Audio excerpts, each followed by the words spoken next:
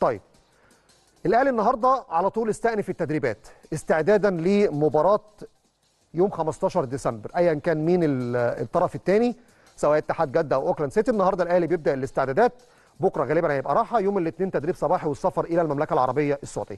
لذلك بينضم لي في هذه اللحظات الزميل محمد توفيق موفد قناة الأهلي من ملعب مختار التتش بالجزيرة عشان نطمئن من خلاله على آخر الترتيبات آخر الاستعدادات أجواء الفريق الجهاز الفني اتكلم في إيه.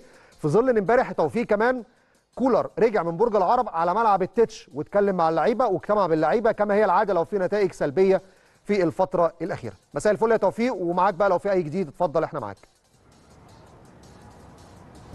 مساء الخير زميلي العزيز محمد سعيد تحياتي ليكم ولكل مشاهدي قناة النادي في كل مكان. في البداية ببارك لكم وببارك لكل جمهور النادي الأهلي في كل مكان والفوز بالسوبر المصري لكرة اليد. يمكن فريق اليد نتائج ولا أروع في الفترة الأخيرة وإن شاء الله يفضل مكمل كده على طول وبإذن الله يستعيد دايما صدارة الكرة المصرية في كرة اليد والأفريقية كمان. يا محمد على طول زي ما ذكرت مستر مارسيل كولر على طول بدون راحة. يعني الاستعداد لكأس العالم للأندية خلاص تم إغلاق كل الصفحات سواء صفحة ال- البطولة المحلية أو كمان البطولة الإفريقية. على طول دلوقتي وأنا حالا معاك على الهوا محاضرة فنية لمستر مارسيل كولر يعني تقريبا منذ الخامسة مساء كلهم في محاضرة داخل مدرجات مختار التتش هنا بالجزيرة. بيتكلم فيها طبعا عن خلاص بقى أغلقنا زي ما قلنا الفترة اللي فاتت كلها وبنبدأ بقى صفحة من جديد يا محمد وكأس العالم للأندية والتركيز فقط في هذه البطولة في هذه الوقت الأوقات المهمة. يعني يمكن الحمد لله عاوز أطمنك في البداية عن كل اللاعبين الحمد لله ربنا يديمها علينا نعمه الحمد لله رب العالمين. كل اللاعبين في قائمة النادي الأهلي الحمد لله من الناحية الطبية لائقين تماما باستثناء طبعا محمود متولي اللي اتكلمت مع دكتور أحمد جاب الله منذ لحظات قليلة طمنا عليه وقال إن محمود يعني خلاص محمود متولي في آخر مراحل التأهيل وإن شاء الله يعني على نهاية الأسبوع هيكون موجود عادي بيتمرن بشكل طبيعي جدا. رضا سليم كمان يمكن محمد على طول هيظهر معاك في لقطات من خلفنا مباشرة. بيواصل برنامجه التأهيلي والعلاجي وإن شاء الله يكون موجود طبقا للبرنامج الموضوع ليه بإذن الله رب العالمين منتصف شهر فبراير القادم إن شاء الله رب العالمين. باستثناء كده محمد الحمد لله القائمة الحمد لله خاليه من أي إصابات وإن شاء الله إلى نهاية البطولة وإلى نهاية الموسم يعني تفضل بإذن الله خاليه من الإصابات. يمكن على طول الفريق محمد النهارده هيكون التدريب على طول فور انتهاء المحاضرة يعني في أي وقت منتظرين يعني نزول اللاعبين لأرض التدريب.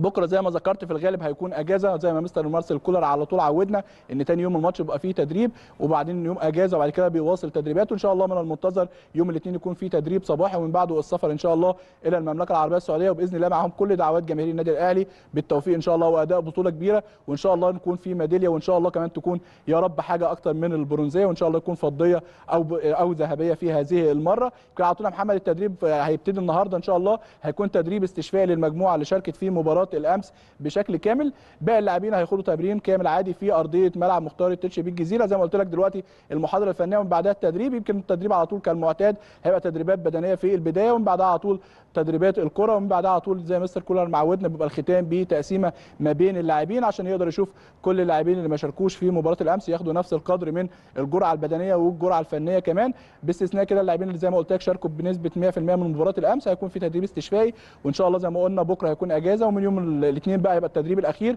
ومن بعد إن شاء الله السفر للمملكة العربية السعودية وبالتحديد جدة وبإذن الله كل التوفيق مع النادي الأهلي وبإذن الله أداء بطولة كبيرة واسعاد كل جماهير النادي الأهلي إن شاء الله رب العالمين.